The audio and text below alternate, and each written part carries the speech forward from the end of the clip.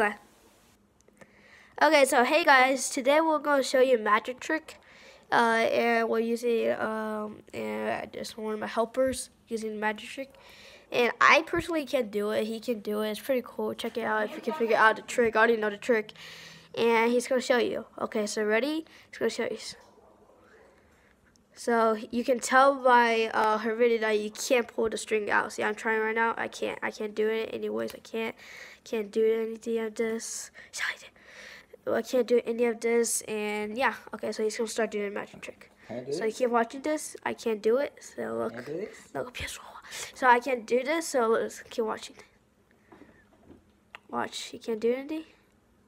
Yeah, he can't do anything. Okay, start. He's gonna start the magic trick. So look at that it's gone. Just like that. So let's do it again. So please do it again, please. So he's putting it up and he's going to show again. See so closely.